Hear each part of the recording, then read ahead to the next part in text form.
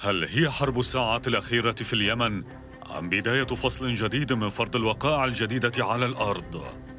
تسارع وتيرة القتال حول مأرب بين الحوثيين والقوات المدعومة من التحالف الذي تقوده السعودية وحصيلة القتلى هناك.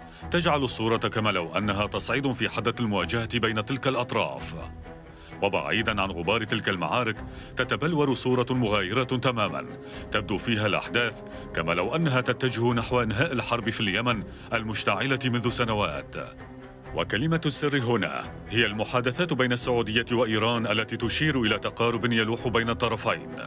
الاختلاف بينهما فقط إن كان وقف الحرب في اليمن سيكون سببا داعما لهذا التقريب أم نتيجة تحددها المسارات المترتبة عليه.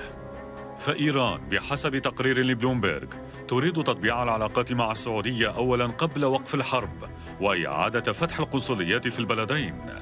في حين تصر السعودية على وقف الحرب أولاً خاصة بعد تزايد التهديد الذي تمثله الطائرات بدون طيار الحوثية ذات التقنية الإيرانية لمنشآتها الحيوية والنفطية وذلك في إطار صفقة كمقدمة لإعادة العلاقات بين الطرفين.